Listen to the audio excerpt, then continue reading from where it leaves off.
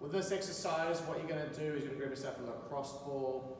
You're then going to put that underneath your glute. So with this uh, demonstration, I'm going to use my right glute, so my right leg comes up. I'm then just going to apply as much pressure to one spot and hold that position.